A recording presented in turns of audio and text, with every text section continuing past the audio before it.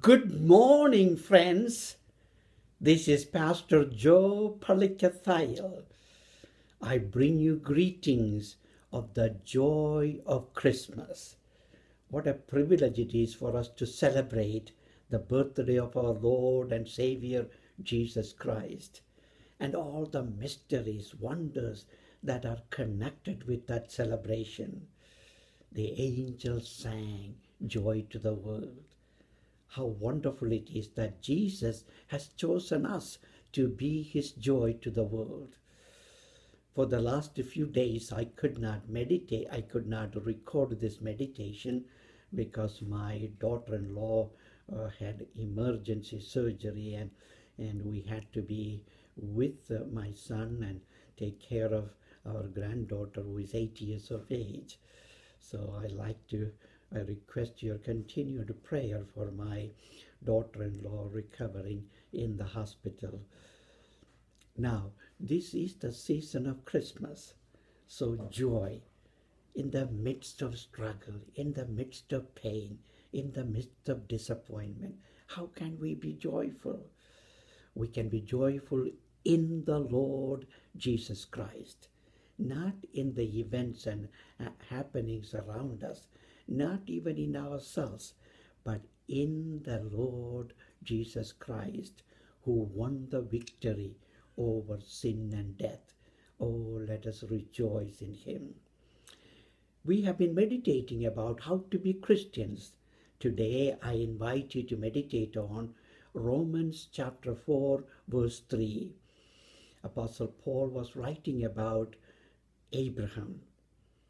What does the scripture say about Abraham? And, and um, Apostle Paul calls Abraham believed God and it was credited to him as righteousness. That's the only thing that is righteous, believing in God, a God who created us, a God who sustains us, a God who loves us beyond our comprehension. That Lord God Almighty, when we believe in Him, we are in right relationship with Him. Thereby, we recognize, acknowledge, and praise God for all His creation. That is our righteousness, not our good deeds. Our good deeds and our good thoughts and all the good things about us and around us come from God. We did not make ourselves. We cannot make, uh, we cannot do things by ourselves without God's help. Everything comes from God. That's the meaning of Abraham believed God and it was credited to him as righteousness. So that scripture should remind us what do we consider as our righteousness? Righteousness simply means the right kind of relationship with God and with other human beings or with the whole creation. The right kind of relationship is God first, we second, the third, the whole creation. That's the order. When we recognize God as the source of everything, as the creator of everything, as the originator of love. Oh, how wonderful it is for us to believe and receive and enjoy our relationship with God as our eternal Father and Jesus as our eternal Savior, the one who gave up his life for the salvation of the world, not only our own salvation, salvation of the world. That is the righteousness of God. We could not have merited or deserved anything from God. It's all God's gracious gifts. Christmas is God's gracious gift. Everything is God's gracious gift. God's grace.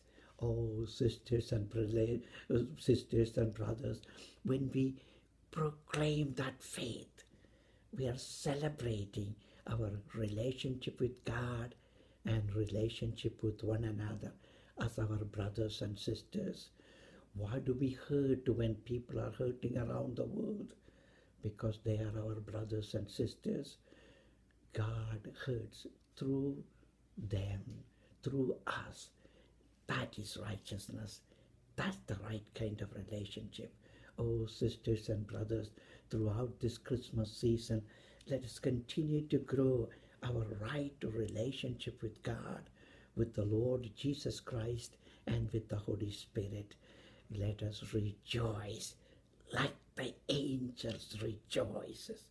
Will you join me in this prayer? Let us pray. Eternal Father, we thank you for creating us in your image, in your likeness.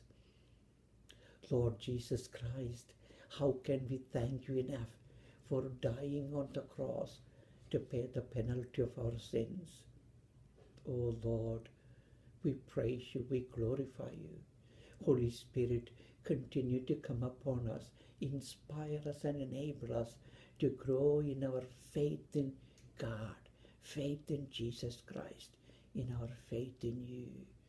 We ask these and other blessings we need, Father. In the name of Jesus. Amen.